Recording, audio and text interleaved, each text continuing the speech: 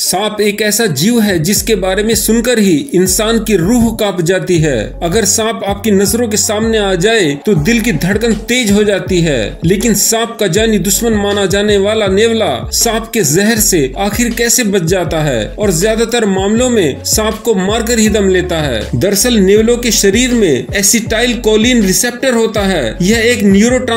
होता है जो उसके दिमाग में मौजूद खून में मिले विष के न्यूरोटॉक्सिक इफेक्ट को खत्म कर देता है इस वजह से नेवलोकी सांप के जहर से मौत नहीं होती वो जहर के प्रति इम्यून होते हैं और उन्हें कुछ नहीं होता नेवले और सांप की दुश्मनी प्राकृतिक रूप से होती है सांप नेवलों के प्रति भोजन मात्र हैं वे सांपों का शिकार सिर्फ खाने के लिए करते हैं